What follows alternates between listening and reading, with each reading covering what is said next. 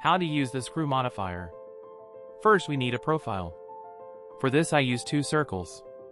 Then add the modifier. Use screw to set your offset if needed. With the iterations you can change the number of revolutions. Here is another good example you can use the screw modifier.